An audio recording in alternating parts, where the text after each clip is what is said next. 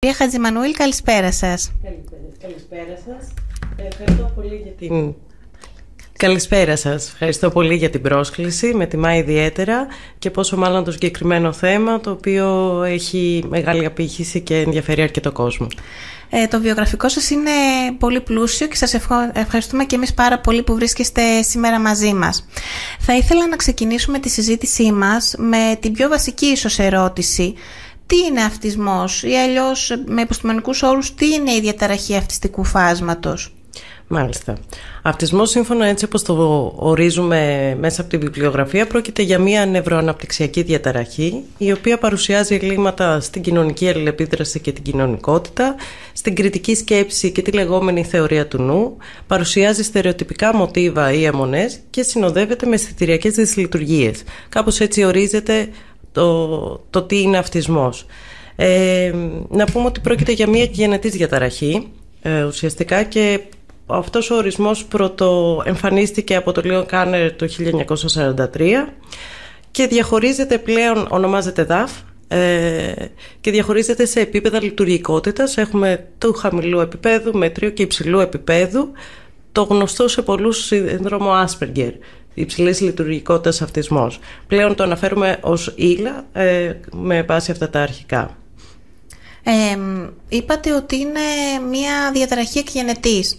Πολλοί γονείς, ε, πολλοί άνθρωποι που ακούνε για τον αυτισμό ε, ρωτάνε αν θα μπορούσαν με κάποιο τρόπο να προλάβουν έναν αυτισμό στο παιδί τους ή σε κάποιο πρόσωπο του δικού τους περιβάλλοντος. Αυτό θα μπορούσε να συμβεί; Ε, επί της ουσίας όχι, δεν, μπορεί, δεν μπορούμε να προλάβουμε τον αυτισμό παρά το γεγονός ότι δεν είναι κάτι το οποίο μπορεί να αναγνωριστεί ε, στο εξωτερικό και σε εξειδικευμένους ε, παιδοψυχιάτρους πριν από τα δύο, στην Ελλάδα γύρω στα πέντε έτη. Ε, ουσιαστικά συμβαίνει από την πρώτη στιγμή γέννησης του παιδιού και αυτό ε, ουσιαστικά αρχίζει και παρουσιάζονται τα πρώτα σημάδια από δύο ετών περίπου. Από πολύ νωρίς. Ναι. Ε, πάμε ακριβώς στην επόμενη ερώτηση που ήθελα να κάνω. Ε, ποια είναι τα σημάδια που θα μπορούσε να δει ένας γονέας, ε, μία γονέας και να σκεφτεί ότι πρέπει να προβληματιστώ και ίσως να πάω σε κάποιον ειδικό; Και ποιοι είναι αυτοί οι ειδικοί που θα μπορούσαν να βοηθήσουν, ας πούμε, σε έναν γονέα ο οποίος βλέπει κάποια σημάδια στο παιδί του; Πολύ ωραία ερώτηση. Λοιπόν, να πούμε αρχικά ότι περίπου μέχρι 1,5 χρονών 2 το παιδί αναπτύσσεται κανονικά και στο επικοινωνιακό του κομμάτι και στην κινητική του ανάπτυξη. Ε, συχνά δηλαδή το ακούμε και το παρατηρούμε αυτό να μας λένε οι γονείς. Μετά τον 1,5 χρόνο παρατηρείται ότι τα παιδιά χάνουν την πνευματική τους επαφή που είναι ένα πρώτο σημάδι που εστιάζουμε αρχίζουν και κάνουν πιο μοναχικό παιχνίδι πλέον, πιο παθητικό παιχνίδι και ίσως επαναλαμβανόμενο δηλαδή με ένα στερεότυπο μοτίβο. Για παράδειγμα να βάζουν όλα τα αυτοκινητάκια στη σειρά ή όλα τα ζωάκια στη σειρά και ούτω καθεξής. Ε, παρατηρούμε συχνά να ε, έχουν δακτυλοβασία, δηλαδή να περπατάνε στις μύτες των ποδιών τους. Ε, και αυτό έτσι ενδείκνεται σαν ένα σημάδι. Ε, επίσης ε, επικοινωνιακά εκεί που πολλές φορές μας έχει τύχει να έχουν αναπτύξει κάποιες πρώτες λέξεις, να λένε ας πούμε μαμά, μπαμπά ή κάποιες φρασούλες και ξαφνικά να σταματάει αυτή η λεκτική επικοινωνία. Θεωρούμε και αυτό ότι μπορεί να είναι ένα ενδεχόμενο σημάδι. Άλλα παλιότερα τα ονομάζαμε κόκκινα σημαίακια που κοιταμε στα παιδιά ήταν ίσως τα, το ότι αναγνωρίζουν αριθμούς και γράμματα από πάρα πολύ μικρή ηλικία. Ωστόσο αυτό σιγά σιγά αρχίζει και καταρρύπτεται καθώς όπως γνωρίζετε ήδη μέσω της οθόνης τάμπλετ κινητού και παιδικών τραγουδιών τα παιδιά όντως μαθαίνουν πολύ νωρίς όλα αυτά και δυστυχώς στα αγγλικά γιατί δεν υπάρχει τόσο ε, δεδομένα στην ελληνική Άρα αυτό είναι αποτέλεσμα του περιβάλλοντος θα λέγαμε και όχι ουσιαστικά ναι. ένδειξη της ε, διαταραχής αυτής. για να συνοψίσω λίγο τα σημάδια είπαμε ότι τα παιδιά αρχίζουν να έχουν πιο μοναχικό παιχνίδι η αλληλεπίδραση με τους γονείς μειώνεται δηλαδή με τη μητέρα ας πούμε θα παρατηρήσει ότι ξαφνικά το παιδί μπορεί να μην θέλει να παίξει τόσο μαζί της Αυτό που παρατηρούμε δεν είναι τόσο επικεντρωμένο στη μητέρα ή στον πατέρα. Ε, θεωρείται ότι είναι μια ηλικία που ανακαλύπτουν τον κόσμο. Μέσα από την, ε, ε, μέσα από την αφή, μέσα από την όσφυση, ακόμα και μέσα από τη γεύση. Γι' αυτό πολλές φορές βάζουν και παιχνίδια στο στόμα τους. Αυτό που παρατηρούμε είναι ότι ενώ μπορεί να ψάχνανε την ανθρώπινη παρουσία, μπορεί να είναι αδέρφια, θείος, γονείς, ε, αρχίζουν και κάνουν επαναλαμβανόμενα στερεότυπα παιχνίδια με αποτέλεσμα να απομονώνονται και να είναι το ειδικό τους ενδιαφέρον κυρίως στο αντικείμενο και λιγότερο στον άνθρωπο. Οκ, ε, νομίζω ότι είναι αρκετά σαφές. Ε, αφού δούμε λοιπόν τα σημάδια, ε, σε ποιον θα απευθυνθούμε, σε ποιον ειδικό θα απευθυνθούμε και ποια είναι περίπου η πορεία, η διαδικασία της διάγνωσης; Ε, αυτό που θα πρέπει να έχουν οι γονείς στο νου τους όταν δουν κάποια τέτοια σημάδια, η πρώτη ειδικότητα που πρέπει να αναζητήσουν είναι του παιδοψυχιάτρου ή του αναπτυξιολόγου. Ε, ουσιαστικά πρόκειται για μια ιατρική ειδικότητα που έχει ε, και νομοθετικά ε, το δικαίωμα να διαγνώσει εάν το παιδί βρίσκεται στο φάσμα του αυτισμού ή όχι. Ωστόσο να πούμε στο σημείο αυτό ότι ακόμα και αν υπάρχουν ε, ε πολύ εμφανή σημάδια στην ηλικία των 2,5 με 3 ή ακόμα και πιο μικρό, δύσκολα οι παιδοψυχιατροί αναπτυξιολόγοι θα δώσουν κατευθείαν τη διάγνωση, καθώς μπορεί αυτά τα σημάδια να οφείλονται και σε περιβαλλοντικούς παράγοντες. Για παράδειγμα, ένα παιδί το οποίο δεν έχει λάβει ερεθίσματα από το περιβάλλον, δεν έχει πάει σχολείο, έχει μείνει αποκλεισμένος στο σπίτι, θα πω ας πούμε την περίοδο της καραντίνας, για παράδειγμα, ε, μας δείχνει ότι τα περιβαλλοντικά ερεθίσματα είναι αρκετά σημαντικά στην ανάπτυξη ενός παιδιού. Άρα θα δίνουν χρόνο και στο ίδιο το παιδί. Τυπικά στην Ελλάδα από τα 4 έως 5 και 6 χρονών ε, μπορεί να δοθεί η διάγνωση. Εκτός αν είναι κάποιος πολύ εξειδικευμένος παιδοψυχίατρος στον αυτισμό που έχει σταθμισμένα εργαλεία που μπορεί να το διαγνώσει. Ωραία. Οπότε περίπου 4 με 5 χρονών ε, λαμβάνει ο γονέας ε, και η οικογένεια θα πω εγώ ε, ως πλαίσιο μία τέτοια διάγνωση. Συνήθως ναι η επίσημη αυτή διάγνωση φαντάζομαι ότι δημιουργεί ένα σοκ ε, στους γονείς και στο πλαίσιο. Ε, βρίσκεστε, φαντάζομαι, καθημερινά με γονείς. Ε, πώς ε, λειτουργούν όταν λαμβάνουν μια τέτοια διάγνωση και πώς μπορούν αυτό να το διαχειριστούν; Όπως ε, κάθε γονέας θέλει να βλέπει το παιδί του και να ε, ποθεί το καλύτερο για αυτό, το να λάβει μια διάγνωση διαταραχής ε, είναι ένα σοκ ή αλλιώς θα το λέγαμε μια απώλεια. Βιώνει ε, τα συναισθήματα μιας απώλειας. Άρα το πρώτο πράγμα που πρέπει να ε, επικεντρωθούμε είναι στους γονείς, στην οικογένεια. Να μπορέσουμε αρχικά να εξηγήσουμε τι είναι ο αυτισμός. Γιατί είναι μια πολύ γενική έννοια και αν το ανοίξουμε αρκετά θα δούμε ότι όλοι μας έχουμε στοιχεία στο φάσμα. Από εκεί και πέρα η διαφοροποίηση έρχεται στο κομμάτι λειτουργικότητας. Πόσο λειτουργικοί είμαστε σε ένα κοινωνικό σύνολο. Άρα το πρώτο πράγμα που πρέπει να κάνουμε είναι να εξηγήσουμε στους γονείς τι είναι αυτισμός και να τους δώσουμε χρόνο να το επεξεργαστούν. Ε, εξηγούμε δηλαδή με απλά λόγια ότι το παιδί ουσιαστικά ε, δεν έχει ένα πρόβλημα το οποίο δεν θα μπορούσε να, να αντιμετωπιστεί και θα μείνει πάντα σε αυτή την κατάσταση. Φαντάζομαι ότι δίνεται ε, εναλλακτικές για το πώς μπορούμε να προσεγγίσουμε και να διορθώσουμε ίσως να βελτιώσουμε κάποια πράγματα η διαφοροποίηση του αυτισμού, της διαταραχής αυτιστικού φάσματος με άλλες διαταραχές όπως είναι η νοητική υστέρηση ή ενδεχομένως κάποια σύνδρομα είναι ότι αυτό που λέω έτσι απλά στους γονείς είναι ότι δεν υπάρχει ταβάνι σε περίπτωση που δεν υπάρχει συνοσυρότητα, γιατί πολλές φορές συναντάμε αυτισμό με νοητική υστέρηση, για παράδειγμα. Όταν λοιπόν συζητάμε για μια καθαρή διάγνωση αυτισμού, δεν μπορούμε να ξέρουμε την πρόγνωση, μπορούμε να ξέρουμε όμως ότι σίγουρα με τα σωστά ερεθίσματα και τη σωστή παρέμβαση θα έχει βελτίωση στα πλαίσια του δυνατού, εκεί που μπορεί το παιδί. Αλλά σε, μέσα σε αυτά τα πλαίσια ε, περιλαμβάνεται και η ίδια η οικογένεια και η αποδοχή της οικογένειας πάνω στη διάγνωση. Ωραία.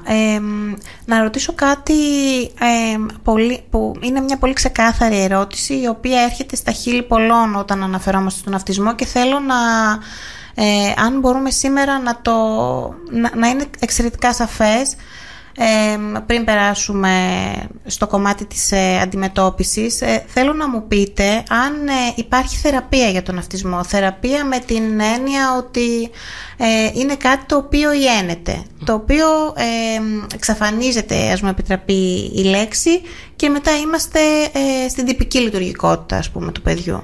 Η αλήθεια είναι ότι αυτή την ερώτηση την ακούμε πάρα πολύ συχνά. Ε, ο αυτισμός, όπως είπα και στην αρχή, είναι μια γενετής διαταραχή. Δεν εξαφανίζεται. Το άτομο γεννιέται και ζει με, το, με την διαταραχή αυτή. Ε, οπότε ε, ένας άνθρωπος με τη διάγνωση αυτή θα είναι για πάντα ένας άνθρωπος στο φάσμα του αυτισμού. Από εκεί και πέρα το πώς βρίσκεται και ενεργεί μέσα σε ένα κοινωνικό σύνολο ε, έχει να κάνει με την παρέμβαση που έχει δεχθεί, πώς το διαχειρίζεται, η οικογένεια, ο περίγυρός του. Θέλω να πούμε λίγο σε αυτό το σημείο ότι αυτισμός πρόκειται για έναν διαφορετικό τρόπο σκέψης. Αναφερθήκαμε στην αρχή στον ορισμό, ο οποίος έχει έτσι λίγο πιο επιστημονική βάση και είναι σημαντικό να το ακούσουμε και αυτό. Αλλά αυτό που θα ήθελα να ε, εφιστήσω λίγο την προσοχή, ότι πρόκειται για ένα διαφορετικό τρόπο αντίληψης. Άρα μέσα από αυτό το πρίσμα προσπαθούμε και εμείς ε, και οι θεραπευτές και οι οικογένειες αλλά και οι υπόλοιποι πολίτες γιατί συζητάμε για άτομα τα οποία πρέπει να συμπεριληφθούν μέσα στην κοινωνία να αποδεχτούν το διαφορετικό τρόπο σκέψης και πιστέψτε με υπάρχουν πάρα πολλοί άνθρωποι που είναι στο φάσμα του αυτισμού ενήλικες οι οποίοι δεν έχουν πάρει και ποτέ τη διάγνωση γιατί απλά είναι λειτουργικοί σε πολλά κομμάτια της καθημερινότητάς τους. Φαντάζομαι αυτές οι περιπτώσεις δεν αφορούν ε, ε, συνοσυρότητα που αναφέρατε πριν. Ναι, όχι, δεν, αφορά, δεν αφορά συνοσυρότητα, δεν παρατηρούμε νοητική υστέρηση που αυτό είναι ουσιαστικά που θα μας πάει λίγο πιο πίσω στο πώς μπορούμε να είμαστε ενεργά μέλη μιας κοινωνίας.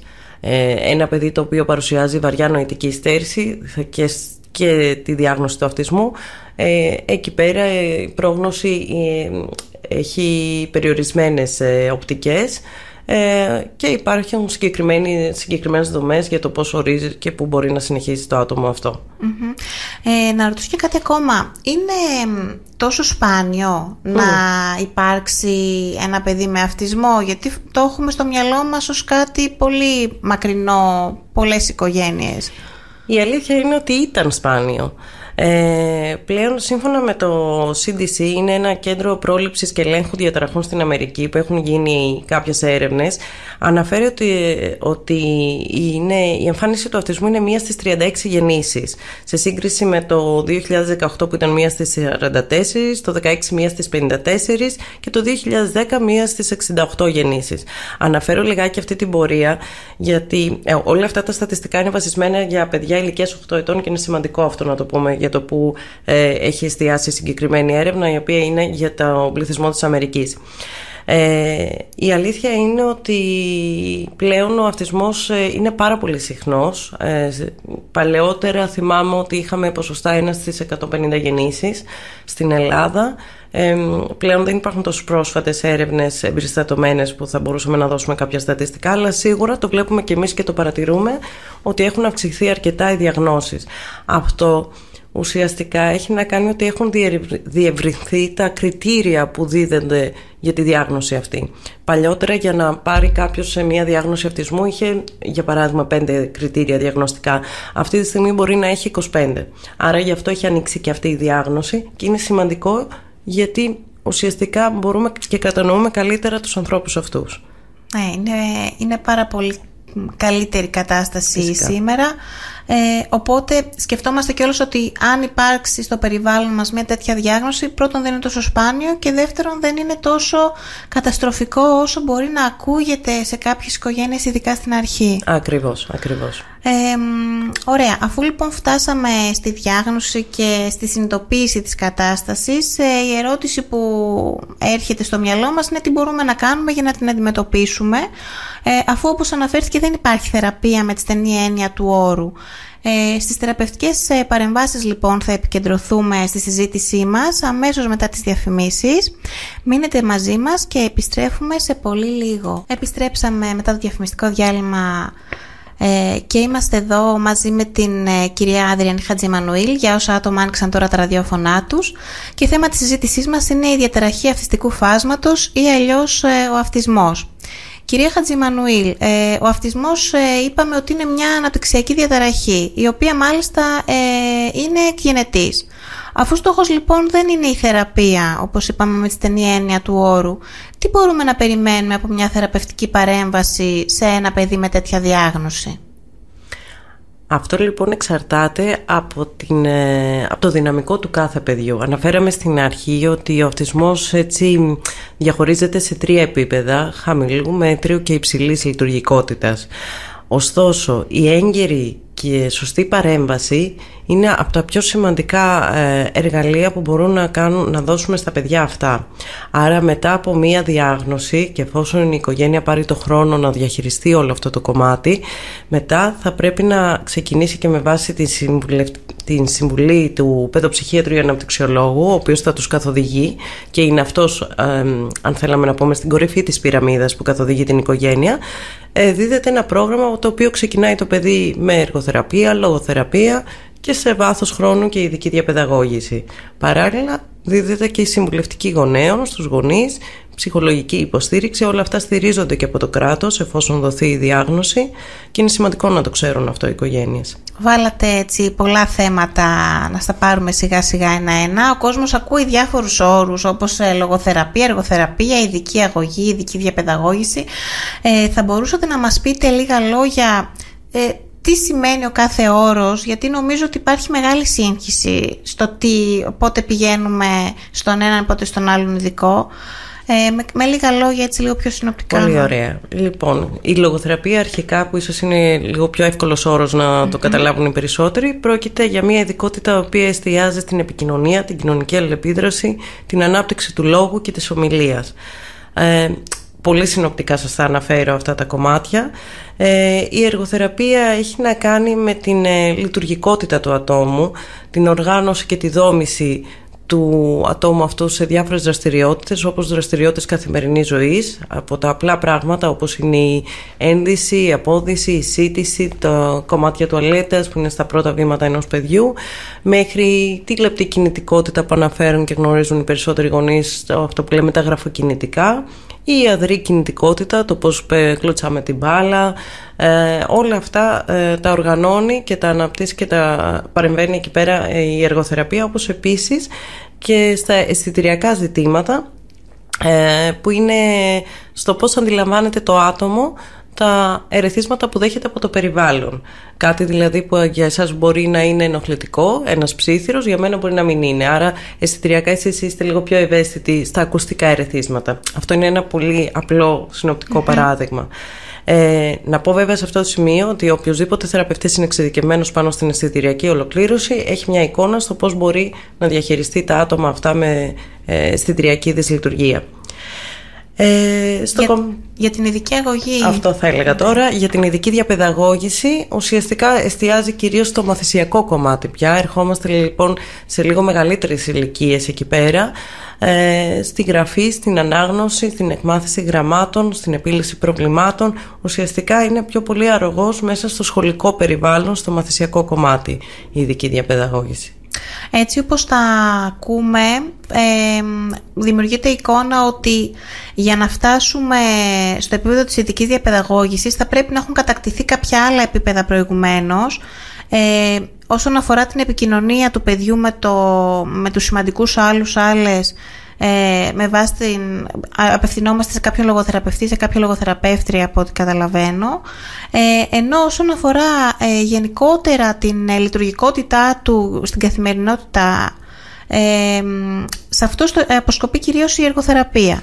Ναι, και αν θα θέλαμε να δώσουμε μία σειρά σε όλο αυτό το κομμάτι, νομίζω ότι προηγείται η εργοθεραπεία αφορά πρώτα το ένα παιδί θα πρέπει να δομηθεί, να δομηθεί το επίπεδο διέγερσης, μπορεί να είναι αυξημένο, είναι αυτό που λέμε τα παιδιά με αυξημένο επίπεδο, κινητικό επίπεδο, υπερκινητικότητα. Ναι, έχουμε Υπάρχει και επιθετικότητα εκεί. Εξαρτάται από την κάθε εικόνα του mm. παιδιού και είναι σημαντικό πάνω σε αυτό που με ρωτήσατε να πούμε ότι ο αυτισμός δεν είναι ίδιος σε κάθε παιδί. Αντίθετα θα έλεγα ότι διαφέρει από παιδί σε παιδί. Υπάρχουν κάποια στοιχεία που παρατηρούμε να είναι κοινά, αλλά κάθε αυτισμός είναι διαφορετικός. Γι' αυτό δεν θέλω να επεκταθώ συγκεκριμένα στο τι παρατηρούμε. Ναι, μπορεί να βρούμε ε, επιθετικότητα, μπορεί να δούμε αυτοτραυματισμούς, μπορεί να δούμε όμως και παιδί το οποίο αναζητά έντονα ε, αναζητά έντονα χάδι, χωρίς αυτό να σημαίνει ότι ε, έχει επαρκή κοινωνική αλληλεπίδραση. Μπορεί να το κάνει αυτό παράδειγμα χωρίς βλεμματική επαφή, καθαρά επειδή θέλει μια σφιχτή αγκαλιά το οποίο είναι αισθητηριακό κομμάτι και αυτό. Άρα λέγοντας λοιπόν λίγο τη σειρά για το πώς ξεκινάει η παρέμβαση σε ένα παιδί στο φάσμα, θα έλεγα ότι ε, αν όχι ταυτόχρονα, ξεκινάμε σίγουρα με εργοθεραπεία, συνεχίζουμε με λογοθεραπεία εφόσον έχει δομηθεί κάπως το παιδί να μπορέσουμε να αναπτύξουμε κάποιους οδούς επικοινωνίας. Και στη συνέχεια πια όταν το παιδί έχει φτάσει στην ηλικία των 6-7 χρονών τότε μπαίνει το κομμάτι της ειδικής διαπαιδαγώγησης. Ε, θα επιμείνω λιγάκι στο κομμάτι της επιθετικοτητας γιατί είναι ένα στοιχείο το οποίο δημιουργεί τρόμο ε, στους, σε άλλους γονείς οι οποίοι θα ακούσουν ότι έχω, θα έχουμε στην τάξη μας παιδί το οποίο έχει διάγνωση αυτισμού. Ε, ως εκπαιδευτικός ε, το, έχουμε, το έχω αντιμετωπίσει αυτό και σε συζητήσεις με συναδέλφους και συναδέλφους ε, υπάρχει γενικά ε, η εικόνα ενός παιδιού το οποίο έχει διάγνωση με αυτισμό το οποίο είναι επικίνδυνο ή δημιουργεί μια αίσθηση ότι τώρα πώς θα το διαχειριστούμε αυτό μέσα στην τάξη. Έχω ακούσει την έκφραση ας πούμε είναι σαν μια ορολογιακή βόμβα. Ε, κάτι το οποίο δημιουργεί εξαιρετική, εξαιρετικά αρνητική εικόνα για το συγκεκριμένο παιδί και προφανώς ε, δυσχεραίνει ακόμα περισσότερο την αλληλεπίδρασή του με τα υπόλοιπα παιδιά όταν φυσικά ακούν από το σπίτι ότι α, σε αυτόν κοντά μην πηγαίνεις γιατί μπορεί να σε κλωτσίσει, μπορεί να σε χτυπήσει, μπορεί το οτιδήποτε. Ε, εσείς μας λέτε όμως ότι η επιθετικότητα δεν είναι χαρακτηριστικό απαραίτητο στον αυτισμό. Όχι και θα συμπληρώσω στο ότι Μπορεί η εικόνα να φαίνεται ως επιθετικότητα, στην ουσία όμως είναι μια άμυνα για τα ίδια τα παιδιά. Κάτι που αισθητριακά δεν μπορούν να διαχειριστούν όπως μια έντονη οχλαγωγία ή κάποια υφή από τα ρούχα τους. Ε, είναι η ρύθμισή τους διαφορετική από τους νευροτυπικούς αν θέλετε ανθρώπους. Ε, οπότε προκειμένου επειδή δεν μπορούν να το εξηγήσουν αυτό, να πούνε για παράδειγμα με ενοχλεί η υφή του ρούχου μου ή με ενοχλεί η οχλαγωγία, ε, κάνουν κινήσεις οι οποίες φαίνονται επιθετικές αλλά στην ουσία είναι αμυντικές. Δηλαδή και αυτά τα παιδιά αμήνονται γύρω από τα ερεθίσματα που βάλλονται. Ε, και αυτό είναι πολύ σημαντικό να το θυμόμαστε. Δυστυχώς υπάρχει ακόμα μεγάλο ταμπού στην κοινωνία όσον αφορά τον αυτισμό. Αν και θέλω να πω και τη θετική πλευρά ότι τα τελευταία χρόνια το νησί μας έχει κάνει τεράστια πρόοδο σε αυτό το κομμάτι και στη συμπερίληψη και στην αναγνώριση το τι είναι αυτισμός. Παρ' όλα αυτά, ναι, αντιλαμβάνομαι ότι υπάρχουν άνθρωποι που έχουν αυτό το ταμπού ότι Όπως είχαμε παλιότερα ένα παιδί το οποίο θα κάνει στερεοτυπικές κινήσεις με τα χέρια του, μπορεί να είναι αυτό που λέτε επιθετικό. Ε, ως προς τον ε, άνθρωπο που το βλέπει ε, αλλά δεν είναι έτσι η αλήθεια ε, και μπορώ να σας πω ότι υπάρχουν και εκτός από ανέφερα πριν για ενήλικες μη διαγνωσμένους υπάρχουν πάρα πολλά παιδιά που είναι μη διαγνωσμένα στο φάσμα του αυτισμού καθαρά επειδή είναι αρκετά λειτουργικά και απλά παρουσιάζουν κάποια σημεία τα οποία δεν ε, ε, ανησύχησαν από τα οικογένειε ή σχολικά περιβάλλοντα προκειμένου να ασχοληθούν λίγο περισσότερο. Ούτως ώστε να λάβουν τη διάγνωση. Ακριβώς. ακριβώς. Ε, χαίρομαι που το λέμε αυτό και το ξεκαθαρίζουμε γιατί είναι, είναι ιδιαίτερα σημαντικό για την επικοινωνία μέσα στην τάξη. Ακριβώς. Ε, είπαμε ότι η οικογένεια είναι ένα εξαιρετικά σημαντικό πλαίσιο. Έχει, θα συνεργαστεί με τους ειδικούς ε, κάποιες ώρες την εβδομάδα.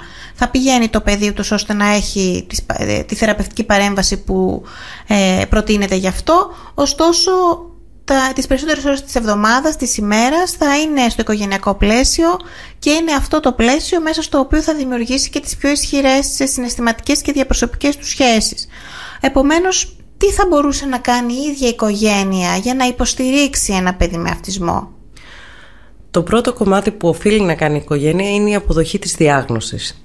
Πολλές φορές οι γονείς και θέλοντας το καλύτερο για το παιδί τους, ξεκινάνε τα θεραπευτικά προγράμματα χωρίς καλά-καλά να γνωρίζουν τι ακριβώς είναι ο αυτισμός. Άρα, πριν ε, μπουν σε αυτή τη διαδικασία, εγώ θα θεωρούσα ότι είναι πιο σκόπιμο να. Με συγχωρείτε. Να έμπαιναν στη διαδικασία να μάθουν τι είναι ο αυτισμός, να κάναν συμβουλευτική γονέων με κάποιο ψυχολόγο ο οποίος γνωρίζει το αντικείμενο και το θέμα, για να μπορέσει να τους καθοδηγήσει, να τους εξηγήσει όλες τις πτυχές του αυτισμού γιατί αυτό που θέλω να θυμάστε είναι ότι πρόκειται για ένα διαφορετικό τρόπο αντίληψης Ε, να μπορούν να αποδεχτούν λοιπόν το παιδί, γιατί συνήθως τι γίνεται. Γεννιέται μια προσδοκία ότι αυτό το παιδί θα γίνει αυτό που λένε, και δεν μου αρέσει καθόλου ο όρος, κανονικό. Ναι. Επί της ουσίας δεν υπάρχει κανονικός άνθρωπος ούτε για μας τους νευροτυπικούς ούτε για, τους, για τα άτομα στο φάσμα. Ε, άρα α, ξαναλέω ότι το πιο σημαντικό κομμάτι είναι η αποδοχή. Από εκεί και πέρα όταν αυτό χτιστεί γερά μέσα και στο ζευγάρι το ίδιο αυτό που είναι σημαντικό είναι να υπάρχει άψογη συνεργασία με τα θεραπευτικό πλαίσιο που συνεργάζονται. Τι εννοούμε; Εμείς οι θεραπευτές καλούμαστε να μπορέσουμε να βοηθήσουμε το παιδί αυτό να ενταχθεί μέσα σε μια νευροτυπική κοινωνία που για μένα είναι ένα πολύ δύσκολο κομμάτι. Καλά-καλά και εμείς οι ίδιοι νευροτυπικοί δεν μπορούμε να ενταχθούμε μέσα σε αυτό το κοινωνικό σύνολο. Ναι, είναι κάποιες φορές ιδιαίτερα δύσκολο ακόμα και για εμάς. Ακριβώς. Φανταστείτε λοιπόν πόσο μάλλον για τα άτομα αυτά που έχουν έναν διαφορετικό τρόπο αντίληψης. Εκεί πέρα, το πρώτο μας βήμα εμάς είναι να μπούμε στο δικό τους κόσμο, προκειμένου να μπορούν να μας καταγράψουν και να τους δείξουμε το δικό μας κόσμο, αν θέλετε. Σε αυτή την περίπτωση, ο γονέας είναι καλό να είναι μαζί με το θεραπευτή. Πολλές φορές ε, τουλάχιστον έτσι δρώ μέσα στη συνεδρία, ε, γίνονται οι θεραπευτικές παρεμβάσεις παρουσία γονέα, προκειμένου να δούνε το πώς διαχειριζόμαστε το παιδί. Γιατί η διαφορά των θεραπευτών με τους γονείς είναι ότι εμείς έχουμε τη γνώση και μπορούμε, γιατί αυτό σπουδάσαμε, γιατί αυτό, σε αυτό εξειδικευτήκαμε. Οι γονείς δεν την έχουν τη γνώση, οπότε το, αυτό που μπορούν να λάβουν είναι ουσιαστικά ε, το βίωμα, να μας δούνε και να έχουμε έναν κοινό τρόπο αντιμετώπισης. Και επιπλέον να ακολουθούμε βήμα-βήμα με ό,τι δυνατότητες έχει κάθε οικογένεια. Είναι σημαντικό και για εμάς να ακούμε τα αιτήματα της οικογένειας ε, γιατί καμιά φορά γινόμαστε και εμείς οι θεραπευτές ε, αυτό που θα πω αυτιστικοί και μπαίνουμε σε κουτάκια ότι α, έχουμε τη διάγνωση του αυτισμού, α, πρέπει να κάνουμε αυτό, ένα, δύο, τρία κομμάτια αλλά το πιο σημαντικό είναι να δούμε η οικογένεια τι αποζητά και τι θέλει. Και μετά να είμαστε συνοδοιπόροι σε όλο αυτό το κομμάτι. Άρα να πούμε ότι ας πούμε, ο, ο θεραπευτής ή η, η, θεραπεύτρια ουσιαστικά έχει τη γνώση αλλά δεν έχει ε, τη διάρκεια, το χρόνο όσο έχει η οικογένεια οπότε λειτουργεί σαν ένα πρότυπο επικοινωνίας όταν σας, βλέπει, σας βλέπουν οι γονείς για το πώς μπορούν να λειτουργήσουν και εκείνοι στην καθημερινότητά τους με το παιδί. Ακριβώς. θα ήθελα να ρωτήσω σε σχέση με αυτό ε, υπάρχουν, είπατε ότι είναι διαφορετικές οι ανάγκες του, της κάθε οικογένειας υπάρχουν διαφορετικές ανάγκες όμως και σε κάθε παιδί Ακριβώς. Οι ανάγκες αυτές, αν συγκρούονται με τις ανάγκες της οικογένειας, ε, είναι κάτι το οποίο φαντάζομαι το, το, το, το αντιμετωπίζετε. Πάρα πολύ συχνά και μπορώ να σας πω το πιο απλό παράδειγμα. Όπως είπατε πολύ σωστά, κάθε παιδί είναι διαφορετικό, όπως και κάθε οικογένεια είναι διαφορετική. Ε, ένα πολύ συχνό αίτημα που ακούμε και το καταλαβαίνω απόλυτα από, τις, ε, από τους γονείς είναι να πούν τα παιδιά μαμάς αγαπώ, μπαμπάς αγαπώ. Και αυτό είναι ένα έτσι κρυφό παράπονο του γονέα. Ε, και είναι όμως και ένα αίτημά του παράλληλα. Του παιδιού το αίτημα είναι να μπορέσει, και ας μην μας το έχει επικοινωνήσει, να μας αντιληφθεί, να μας καταλάβει. Ε, και για να μπορέσει να μας καταλάβει γινόμαστε εμείς θεραπευτές γέφυρα από το δικό του κόσμο στο δικό μας κόσμο ε, και βρίσκουμε κοινά στοιχεία δεν είναι ιδιαίτερα ανάγκη να πει λεκτικά στο γονέα του ότι τον αγαπάει. Μπορεί να το δείξει όμως με χίλιους δύο άλλους τρόπους όπως μια αγκαλιά, ένα βλέμμα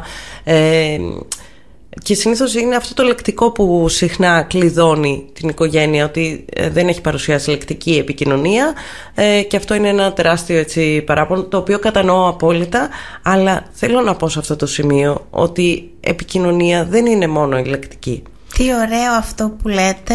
Ε, είναι, είναι εξαιρετικό να πούμε ότι ε, ο κάθε άνθρωπος είτε είναι ε, νευροτυπικός είτε όχι έχει το δικό του τρόπο να επικοινωνεί και μπορεί να λέει σε αγαπώ που είναι έτοιμα όλων των ανθρώπων φαντάζομαι να το ακούσουν με έναν δικό του ξεχωριστό τρόπο και με δικές του ε, όμορφες κινήσεις τις οποίες αξιολογεί το πρόσωπο αυτό σημαντικές και ως έναν άλλο είδους ε, δρόμο στο να δείξει το συνέστημά του. Ε, αυτό το βλέπουμε και σε παιδιά, ε, ούσα μέσα στην τάξη, και σε παιδιά που δεν έχουν διάγνωση αυτισμού. Ε, εκφράζονται με τελείως διαφορετικό τρόπο και είναι σημαντικό να υποθεί αυτό ότι δεν χρειάζεται να μένουμε στη λέξη «Α, ωραία, τώρα πρέπει να μου πεις αγαπώ» ή «Δεν μου είπες αγαπώ» ή «Μου είπες αγαπώ πέντε φορές περισσότερες από τον άλλον». δεν είναι αυτό το σημαντικό. Ε, ήθελα όμως, ε, είπατε κάτι πολύ όμορφο, ότι εσείς γίνεστε η γεφυρα Τα παιδιά αυτά, ε, το συνέστημά τους, ε, φτάνουν σε ένα σημείο κάποια στιγμή να, το, να μπορέσουν να το διαχειριστούν και θα μπορούσε η οικογένεια να περιμένει να εκφραστεί με έναν τρόπο πιο ε, κοντά σε αυτό που θα επιθυμούσε εκείνη; Η ίδια οικογένεια εννοείται, στο τι θα ναι. επιθυμούσε. Αυτό δεν το γνωρίζω γιατί όπως είπα και πριν κάθε παιδί είναι διαφορετικό. Αυτό που μπορεί να γίνει ξεκάθαρο είναι ότι μπορούμε να βρούμε δύο δους ε, επικοινωνίας με κάθε τρόπο. Είτε είναι λεκτικό είτε είναι μη λεκτικό. Θα καταφέρουμε να, έχουμε, ε, να μπορέσει το παιδί να επικοινωνεί με τους γονείς. Και αυτό είναι το πολύ βασικό κομμάτι. Ε, συχνά ε, συναντάμε λεκτικούς ε, έτσι, αυτισμούς. Ε, αλλά υπάρχουν περιπτώσεις παιδιών δεν θα ξεχάσω και μία πριν πάρα πολλά χρόνια, ε, όταν πρωτοξεκίνησα να ασκώ το επάγγελμα. Ε, θυμάμαι ήμουνα ε, σε ένα κέντρο, συνεργαζόμουν με ένα κέντρο και είχα ένα παιδάκι 11 χρονών, το οποίο δεν είχε μιλήσει καθόλου μέχρι τα 11 και το είχα δει τον Ιούνιο. Και έλεγε το κλείναμε για καλοκαίρι και το Σεπτέμβριο ε, ξανά ήρθε το παιδί να συνεχίσουμε τις θεραπείες και μιλούσε, έλεγε τις πρώτες του λέξεις. Θέλω να πω σε αυτό το σημείο ότι αυτό που είπα και στην αρχή δεν υπάρχει ταβάνι και δεν γνωρίζουμε πότε το παιδί αυτό θα ξεκλειδωθεί. Ωστόσο, είναι σημαντικό γιατί τα παιδιά αυτά καταλαβαίνουν το συνέστημα. Υπάρχει ένας μύθος το ότι δεν αισθάνονται το ίδιο, δεν συναισθάνονται ή δεν ε, ε, ε, καταλαβαίνουν το συνέστημά τους καταλαβαίνουν και το συνέστημα του συνανθρώπου τους και το δικό τους άσχετα αν μας το δείχνουν έμπρακτα ή όχι ε, Παρ' όλα αυτά το άγχος των γονέων θα το καταλάβει το παιδί και θα καταλάβει ότι δεν είναι αντάξιο των προσδοκιών τους.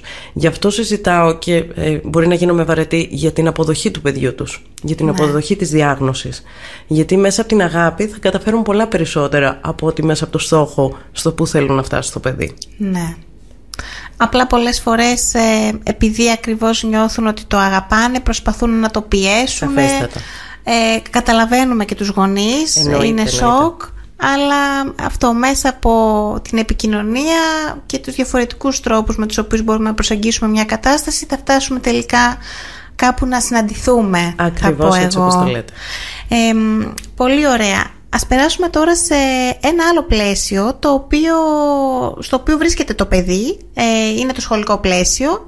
Ε, ακριβώς μετά δεν, θα, δεν θέλω να μιλήσω τόσο για τον υπηαγωγείο θα ήθελα να δούμε λιγάκι το δημοτικό, το οποίο έχει και πλέον γνωστικές ε, απαιτήσεις, έχει ε, τελείως διαφορετικό, ε, διαφορετική δόμηση στο πώς γίνεται το μάθημα σε σχέση με τον υπηαγωγείο. Υπάρχει, τα παιδιά αντιμετωπίζουν ένα σοκ όταν από τον υπηαγωγείο μεταβαίνουν στο δημοτικό, γιατί είναι τελείως διαφορετικό το, το, το περιβάλλον τι, πώς θα μπορούσε να συμβάλλει το δημοτικό σχολείο και, και γενικότερα το σχολείο στην ε, ενδυνάμωση και στην υποστήριξη παιδιών με αυτισμό; Το πρώτο κομμάτι που θα μπορούσε να ενισχύσει το σχολικό πλαίσιο είναι η συμπερίληψη. Η μεγαλύτερη δυσκολία των ατόμων στο φάσμα του αυτισμού είναι η κοινωνική αλληλεπίδραση. Και αυτό δεν συμβαίνει επειδή τους αρέσει να είναι μοναχικά άτομα. Αυτό συμβαίνει επειδή δυσκολεύονται να καταλάβουν τον τρόπο που επικοινωνούμε οι υπόλοιποι, ο οποίος η αλήθεια είναι και αρκετά ασταθής. Ε, ναι. ακριβώς γι' αυτό το λόγο δυσκολεύονται. Από εκεί και πέρα λοιπόν σαν πρώτος στόχος είναι η συμπερίληψη. Ε, το κράτος το ίδιο πολλές φορές στηρίζει αυτά τα παιδιά έχοντας δίπλα τους κάποια παράλληλη στήριξη προκειμένου να μπορέσει να δίνει ενδεχομένως ε, με λίγο πιο κατανοητό τρόπο το, τη μαθησιακή ύλη ή να μπορεί να παίρνει τα πιο συχνά διαλύματα που χρειάζονται αυτά τα άτομα λόγω του αισθητηριακού ε, κομματιού όπως αναφέραμε νωρίτερα. Ε, νομίζω όμως σε κάθε περίπτωση ε, πέρα από το μαθησιακό και διορθώστε με αν είμαι λάθος ε, είναι σημαντικό αυτό το παιδί να ενταχθεί και να μπορέσει να κάνει παρέα ευχάριστα με τα υπόλοιπα παιδιά και να αναζητά τα υπόλοιπα παιδιά. Ναι, ε, από την εμπειρία μου ε, όσο είμαι στο σχολείο ε, υπάρχει, επειδή αναφέρατε το κράτος και την υποστήριξη που ε, τουλάχιστον στο νομικό πλαίσιο υπάρχει σε σχέση με αυτά τα παιδιά και γενικότερα με, την, με τα παιδιά με ειδικές μαθησιακές εκπαιδευτικές ανάγκες. Το κράτος όντως ε, έχει μια μέρημνα ε, ώστε αυτά τα παιδιά να μπορούν να έχουν έναν εκπαιδευτικό ο οποίος ε, θα τα υποστηρίζει ε, ανάλογα με τη διάγνωση που έχουν το maximum 24 ώρες στο σχολείο. ωστόσο στην Ελλάδα αυτό πολλές φορές υποβιβάζεται και υποβαθμίζεται γιατί ιδιαίτερα στο ε, σημερινό πλαίσιο θα το τοποθετήσω. Ε, η πολιτική της κυβέρνησης είναι να μειώνει συνεχώς τους εκπαιδευτικούς ε, παράλληλης στήριξης με μειωμένες προσλήψεις ε, τέτοιων εκπαιδευτικών σε αυτά τα πόστα που είναι εξαιρετικά σημαντικά και βοηθάνε στην επικοινωνία των παιδιών αυτών με τα υπόλοιπα ε, συμβάλλουν ουσιαστικά στη συνεκπαίδευση. Αυτά τα άτομα λοιπόν λείπουν από τα σχολεία ε, να δώσω το παράδειγμα της ε, Λέσβου. Ε, σήμερα στο νησί υπάρχουν 35 ε, παράλληλες στηρίξεις οι οποίες είναι κενές. Και τι μπορούμε να κάνουμε σε αυτό; Τι λέει το κράτος μας; Λέει ωραία έχεις δύο παιδιά στην τάξη σου τα οποία έχουν διάγνωση η οποία θέλει παράλληλη στήριξη ή έχουν και τα δύο διάγνωση για 24 ώρες το οποίο σημαίνει ότι είναι σημαντικό να έχουν έναν άνθρωπο μαζί τους που θα τα βοηθάει σε μεγάλο ε, ποσοστό κατά τη διάρκεια της εβδομάδας. Τι κάνει λοιπόν το κράτος λέει ωραία αφού έχεις ε, δύο τέτοια παιδιά στην τάξη θα σου, δώσω, θα σου στείλω έναν εκπαιδευτικό παράλληλη στήριξης. Θα μοιράσεις τις ώρες και έτσι το κάθε παιδί θα παίρνει αντί για 24 ώρες ε, παράλληλη στήριξη 12.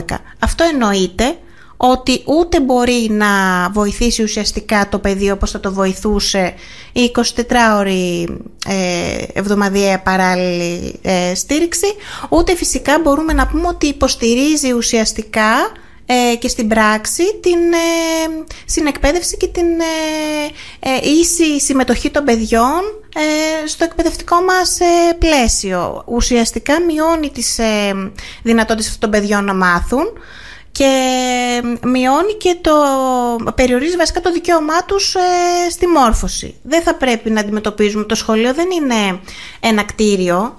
Το σχολείο είναι οι άνθρωποι που είμαστε μέσα και αυτοί οι άνθρωποι ε, προσπαθούμε με νύχια και με δόντια να μου επιτραπεί η έκφραση να το στηρίξουμε. Ε, και, αλλά οι, πολιτικοί, οι πολιτικές ε, της συγκεκριμένης κυβέρνησης μας ε, δυσκολεύουν ε, εξαιρετικά στο συγκεκριμένο σημείο και ήθελα να το πω γιατί είναι σημαντικό να ε, δίνουμε τα του Κέσσαρο στο Κέσσαρι. Ε, Η αλήθεια είναι ότι και εμείς μέσα από την επαφή μας με τους γονείς κατανοούμε την ίδια ακριβώς εικόνα που μεταφέρετε κι εσείς αλλά εσείς την ξέρετε εκ των έσω ότι αυτό που λέμε έτσι χαριτολογώντας κάθε πέρσι και καλύτερα. Ε, οι ανάγκες είναι πολλές, τα παιδιά δεν στηρίζονται κατάλληλα ε, μέσα στα σχολικά πλαίσια. Αντιλαμβάνομαι ότι είναι, γίνεται πολύ πιο δύσκολο το έργο τόσο των εκπαιδευτικών όσο και τα ίδια τα παιδιά δυσκολεύονται. Ε, ελπίζω και εύχομαι αυτό το πράγμα να μπορέσει να βελτιωθεί ε, γιατί πρέπει, όπως αναφέραμε στην αρχή, τα στατιστικά τα οποία έχουν αυξηθεί και δεν είναι τυχαίο, θα πρέπει και αυτό το κομμάτι, ας πούμε, ενδεχομένως στο Υπουργείο Παιδείας, δεν ξέρω ποιος φορέας, να μπορέσει να το λάβει σοβαρά υπόψη και να καταλάβει να ε, μπορεί να έχει, να πλησιώσει σωστά ε, τα άτομα αυτά. Ναι, μια καλύτερη κατανομή των οικονομικών πόρων ε, στην παιδεία και στην υγεία, ας πούμε, και όχι στα εξοπλιστικά. Αλλά αυτό είναι ένα άλλο θέμα. Ε, κυρία Χατζημανουήλ, φτάνοντας, ε, συνοψίζοντας και φτάνοντας ε, στο τέλος ε, της συζήτησής μας για τον αυτισμό, θα ήθελα να μας πείτε ένα γενικό σχόλιο, κάτι που θα θέλετε να μείνει στο μυαλό των ατόμων που μας ακούνε σε σχέση με τον αυτισμό. Ωραία, θα ήθελα δύο πραγματάκια να ναι. ευστήσω λίγο την προσοχή. Το ένα είναι να αναφέρουμε ότι στο νησί μας έχουμε την τύχη να έχουμε έναν υπέροχο σύλλογο που στηρίζει τις οικογένειες και τους φίλους των ανθρώπων με αυτισμό. Είναι ο σύλλογος συνεξέλιξης. Έχει κάνει πάρα πολλά πράγματα με στόχο τη συμπερίληψη και την στήριξη των οικογενειών. Ε, θα ήταν πολύ σκόπιμο για όσες οικογένειες δεν έχουν ακούσει για το σύλλογο να τον ψάξουν και μέσα από την ηλεκτρονική του διεύθυνση, αν μου επιτραπεί να το πω ναι, ναι. είναι www.pavlaexelixi.gr Ε, γιατί πρόκειται για μια ομάδα πλέον πολλών μελών. Ξεκίνησε με λίγα μέλη σταθερά και πλέον ε, έχει αρκετά μέλη και κάνουν ωραίες δράσεις. Γιατί αυτό που θέλω να θυμόμαστε είναι ότι ε, ο στόχος είναι η συμπερίληψη των ατόμων αυτών. Θέλουμε να είμαστε όλοι οι ίδιοι, ίσοι ε, και διαφορετικοί ταυτόχρονα. Ε, και όσον αφορά το τι είναι ο αυτισμός για μένα ο αυτισμός είναι ένας διαφορετικός τρόπος αντίληψης ε, πολλές φορές είναι ακόμα πιο μαγικός από το δικό μας ε, νευροτυπικό εγκέφαλο και γι' αυτό το λόγο έτσι θαυμάζω τα άτομα που βρίσκονται στο φάσμα και προσπαθώ να μαθαίνω μέσα από αυτά παρά να τους μαθαίνω εγώ κάτι. Νομίζω ότι σήμερα εσείς μας μάθατε πολλά. Σας ευχαριστούμε πάρα πολύ και για το χρόνο σας ε, και για όλη τη γνώση που προσφέρατε σήμερα με έναν πολύ έτσι, τρυφερό και εμπεριστατωμένο τρόπο.